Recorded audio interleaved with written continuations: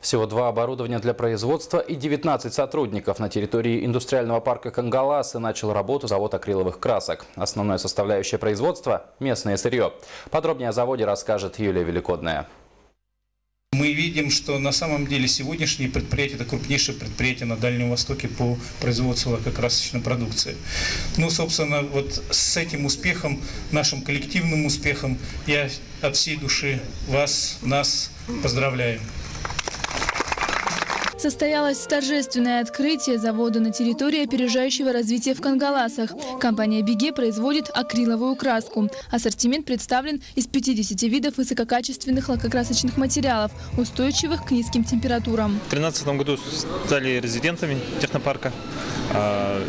И э, это существенно помогло для становления нашей компании, потому что э, мы э, размещались полностью в производственных помещениях технопарка на льготных условиях.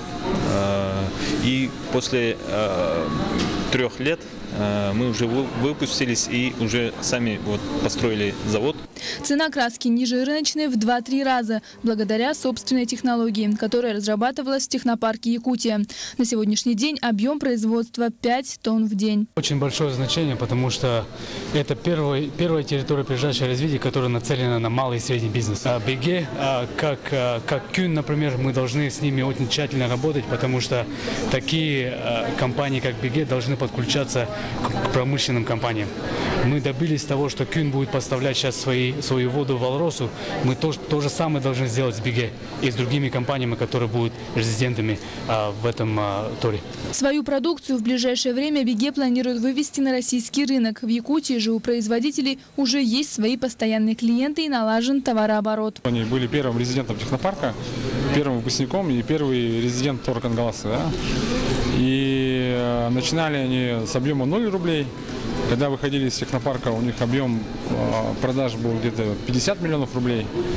Вот. Э, к 2022 году мы поставили им план выйти на миллиард рублей наоборот. То есть они должны с Владивостока до Новосибирска весь Урал закрыть нашей краской Якутска. Главной задачей технопарка остается продажа интеллектуальной собственности. Ну а что касается производителей, которых около 100 в Якутии, в скором времени, как заявил директор технопарка, мы о них услышим. Юлия Великодная, Евгений Рязанский, НВК Якутск.